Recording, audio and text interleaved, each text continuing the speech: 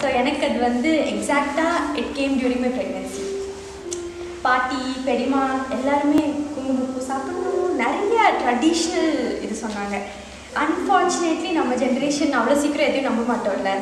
ஏன் ஏன் ஏன்? ஸோ யார்கிட்டையுமே ஆன்சர் இல்லை. எல்லாரும் சொன்ன ஒரே விஷயம் குழந்தை வந்து கலராக பிறக்கும். அப்பா வந்து அப்பா டாக்டர் ஸோ அவர் வந்து இல்லை அதெல்லாம் மித்து அப்படின்னு.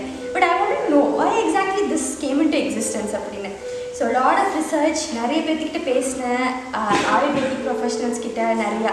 So I came to know the science behind it not just for குங்குமப்பூ for lot of things during pregnancy அப்போ தான் சரி ஓகே வாட் எக்ஸாக்ட்லி ஹேப்பன்ஸ் நம்ம நம்ம ட்ரெடிஷ்னலாக நிறைய சொல்கிறாங்க அதுக்கு சயின்ஸ் என்னன்னு தெரிஞ்சுக்கணும்னு I started researching and I was shocked and stoked ஏன்னா நைன்டி பர்சன்ட் ஆஃப் ட்ரெடிஷ்னல் நம்மளோட சேயிங்க்கு this a science behind it just that we don't know அந்த சயின்ஸ் என்னன்னு தெரியறதில்ல.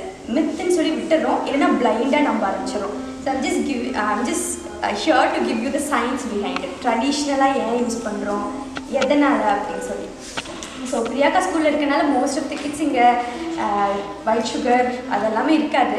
But I'm just gonna tell you ஏன் white sugar எக்ஸாக்டாக ஏன் வேண்டாம்?